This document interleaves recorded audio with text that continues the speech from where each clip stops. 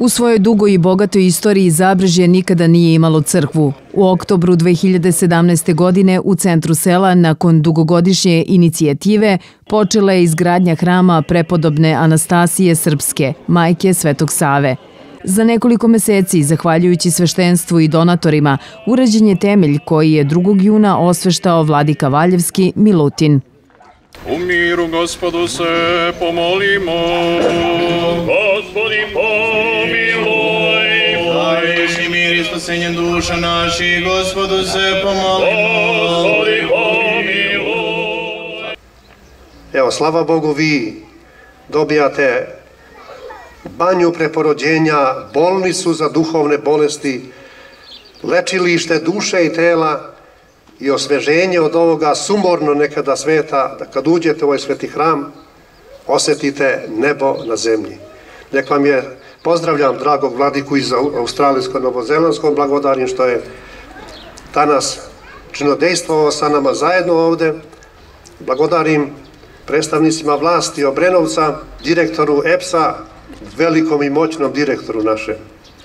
I gospodinu Mileti, već sam ga pomenuo jednom, pre svih, jer je on radi i za crkvu Hristovu, radi za svaku veru koja postoji kod nas, da svakome pomogne. Neka ste srećni i blagosloveni, neka je blagosloven ovaj dan, neka Gospod pomogne da se ovo delo što pre završi, kako bi svoje duše umivali ovde i postali veliki Srbi, veliki pravoslavci. Prema rečima sveštenika Milana Mijailovića, ovo je veliki dan za Zabrežje, njegove meštane, Obrenovac i Srpsku crkvu. Danas osveštani temelji novog hrama koji će biti podignut u slavu Božiju, a u čast prepodobne majke Anastasije, majke Svetoga Save. I e, danas su sa nama bili, odnosno čin osvećenja temelja obavio je naš nadležni episkop Valjevski gospodin Milutin, sasluživao mu je episkop australijsko-novozelandski vladika Siluan, uz sveštenstvo Obrenovačke crkve kao i posavskog namesništva bio je arhimadrit manastira Lelića, otac Georgi. Ja bih se zahvalio ovom prilikom i direktoru kancelarije za upravu i saradnju sa verama i verskim zajednicama i crkvama, gospodinu Mileti Radoviću koji je danas izdvojio vreme bio sa nama, kao i predsedniku gradske opštine Obrenovac, gospodinu Miroslavu Čučkoviću i takođe veliku zahvalnost dugujem direktoru javnog preduzeća elektroprivrede Srbije, gospodinu Miloradu Grčiću.